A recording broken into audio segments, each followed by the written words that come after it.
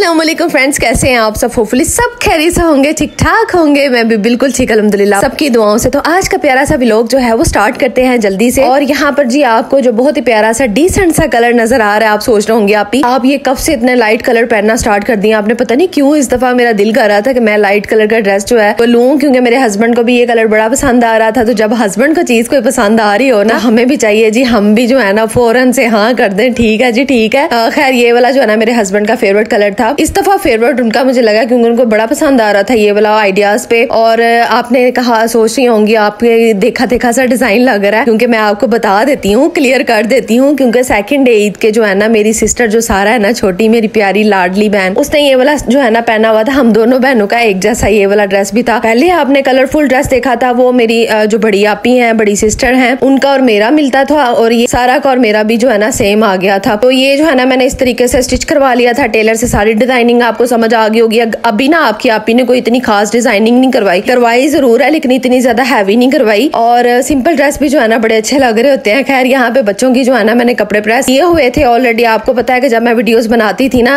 पहले, ईद से पहले, मैं साथ ही इनको हैंग कर देती थी, इसलिए मुझे मुश्किल ही नहीं हुई इस दफ़ा। शुक्र अलहमदुल्ला तो खैर, यहाँ पे जी, प्यारी सी मेरी छोटी प्रिंसेस सालिहा जो आपको नज़र आ रही है, बड़ी पिंकी पिंकी सी, उसको मैंने तैयार कर दिया था रेडी कर दिया था। और उसका ड्रेस चेक करें, काफ्तान स्टाइल में उसको कितना प्यारा लग रहा है, कितनी क्यूट लग रही है, माशाल्लाह। कमेंट बॉक्स में लाजमी आपने माशाल्लाह कहना अगर माशाल्लाह कहेंगे नहीं, लिखेंगे नहीं ना तो दिल में या मुँह पे आपने लाजमी कहना है, क्योंकि बच्चों को ना बड़ी जल्दी नज़र लग जाती है। माँ की अपनी नज़र भी जो है ना बच्चों को लग जाती है। खैर, अल्लाह ताला सब बच्चों को नज़र बस से बचाए जी। तो ये देखें जी, इसकी हर चीज़ मैंने मैचिंग की हुई है। और, करती तो मैं दोनों बेटियाँ जो बड़ी है ना, मेरी उनकी भी मैचिंग ही करती हूँ। उनका भी जो है ना पिनों का, पोनियों का और कपड़ों का, जूतों का बड़ा ख्याल रखती हूँ। मैचिंग ही वो हर चीज़ जो है ना उनको अच्छी लगे। माशाला वो भी बड़ी प्यारी लग रही थी, लेकिन वो मैं आगे जाके आपको दिखाऊँगी, उनको ड्रेस किस तरह के लग रहे थे। और ये सालिहा का काफ्तान स्टाइल वाला देख लीजिए। जी, आपने मुझे टिकटॉक पे इतने कमेंट्स किए थे, आप ही इनको इसको पहना के दिखाएँ। पहना के दिखाएँ तो आपका इंतज़ार जो हो गया है, वो खत्म। अब आप वीडियो में देख सकती हैं सालिहा कितनी प्यारी लग रही है इस ड्रेस में। कलरफुल ड्रेस बच्चों को बड़े प्यारे लग रहे होते हैं। ठंडे ठंडे से कलर येलो कलर किस किस का फेवरेट है? कमेंट करके लाजमी बताइएगा कि आप ही हमारा भी फेवरेट है। मेरा तो ये येलो शेड में जितने भी कलर आते हैं ना, मुझे सब पसंद है। और इसमें देखा ना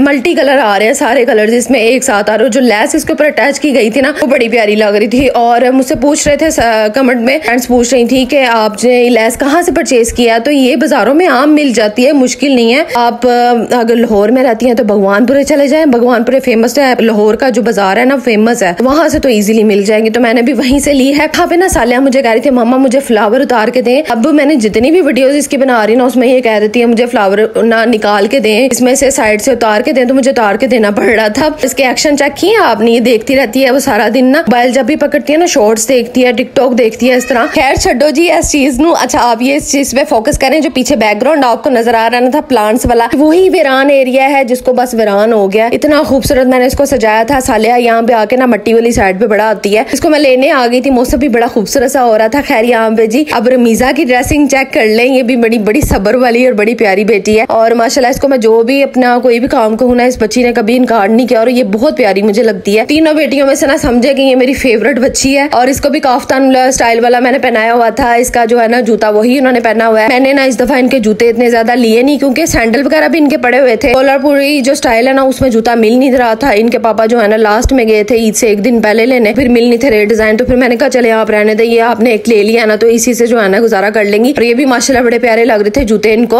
और ये रीशा का ड्रेस भी आपने देख लिया होगा। रीशा का ड्रेस भी बहुत प्यारा लग रहा था। अच्छा आपने देखा है ना कि मैंने ज़्यादा वो है ना फैंसी ज़्यादा नहीं बनाए कैजुअल रूटीन वाले ही बनाए हैं। ताकि ईद के बाद भी जो है ना, ये घर में भी पहन सकेंगी, क्योंकि मुझे बहुत ज़्यादा ज़रूरत है इनके कपड़ों की। ये घर में पहनने के लिए जो बच्चों को ना, जितने ज़्यादा कपड़े होना, उतने कम होते हैं। खैर, मैं अपनी अम्मी की तरफ़ आ गई थी। अच्छा सेकंड डे भी मैं अम्मी की तरफ़ गई थी। थर्ड डे भी मैं अम्मी की तरफ़ गई थी, और मैंने जाना ही जाना है। वो इसलिए, क्योंकि अब यहाँ तो वो आएँगे, या मैं जाऊँ। क्यों जाऊँगी? इसकी डिटेल में नहीं जाऊँगी। जो मेरी प्यारी सिस्टर है, उनको तो सब पता है, क्यों आप ही जा रही हैं, कि क्यों वो आ रहे हैं। तो ये जो है ना, अभी चलता रहेगा सिस्टम जो है ना इस तरह का, क्योंकि मुझे उनकी ज़रूरत है। और इस वजह से जब मेरा दिल घर में घबराता रहा तो फिर मैं वहाँ पे जाऊँगी और जब अगले दिन जो है ना अम्मी वगैरह को बुला लिया करूँगी तो खैर यहाँ पे जी हम ऊपर आ गए थे। और बच्चों को लेके मैं ऊपर आ गई थी, बड़ी मुश्किल से आज फिर मैं जो है ना, सीढ़ियाँ चढ़ी थी, ईद के तीसरे दिन का व्लॉग है, ये ठीक है, मैं आपको क्लियर कर दूँ। और यहाँ पे जी मैं जो है ना लेट गई थी, बस थोड़ा सा मैंने खाना जो है ना, वो खाना नहीं था, क्योंकि मुझे कबाब और टिक्कियाँ वगैरह जो है ना, इतनी शौक से मैं नहीं खाती, लेकिन फिर भी मैंने टेस्ट कर ली थी, क्योंकि आप ही ने बनाई हुई थी बड़ी मज़े के तैयार किए थे, लेकिन मैं एक से ज़्यादा खा ही नहीं पाती। और यहाँ पे जी हम जो है ना, फिर मूवी लगा के बैठने लगे थे बच्चों के लिए। क्योंकि बच्चों को जब हम मूवी लगा दे, कोई चीज़ लगा देना फिर ये सुकून से बैठ जाते हैं। और सालिहा यहाँ पे भी आगे शरारते कर रही थी, बड़ी प्यारी प्यारी। अच्छा इसकी पिन्ने कितनी प्यारी लग रही है। ऐसे लग रहा है कि बच्चों के ऊपर ना वाकई इस तरह की चीज़ें बड़ी प्यारी लगती है। समर जो है ना, समर के सीज़न में बच्चों को ऐसे कलर्स ऐसी पिन्ने, पोनिया वगैरह हम लगाए ना, वो कितने क्यूट लगते हैं ना। तो माशा अल्लाह ताला सब बेटियों का नसीब अच्छे करे जी। और यहाँ पे जी हमारी फैमिली तो इसी तरह के घुल मिल के जो है ना, हम लोग वक्त अपना जो है ना स्पेंड करते हैं। तो आप लोग किस तरह करते हो? आप लोग भी मुझे बताया करो, अपनी रूटीन के बारे में कुछ ना कुछ मुझसे शेयर किया करो, आपकी आप ही तो। सारा कुछ आपके साथ शेयर कर देती है और बाकायदा आपको दिखा भी देती है। आप भी कमेंट करके मुझे बताया करें अपनी कोई फैमिली की, जो है ना आपकी लाइफ किस तरह की गुजर रही है। और अच्छा दो दिन से ना मटन खा के, इस तरह की चीज़ें खा के मैं तो बहुत ज़्यादा उकता गई थी। सुबह मुझे आप ही ने फ़ोन किया ना आने से पहले। तो मुझे कह रही थी कि क्या बनाना है खाने में? मैंने कहा, दाल चावल बना लो जी, दाल चावल फेवरेट है। मेरे हस्बैंड की भी तबीयत थोड़ी सी खराब थी, मैंने कहा, दाल चावल जो है ना, वो खा लेंगे। मटन वाली चीज़ कोई ना बनाना,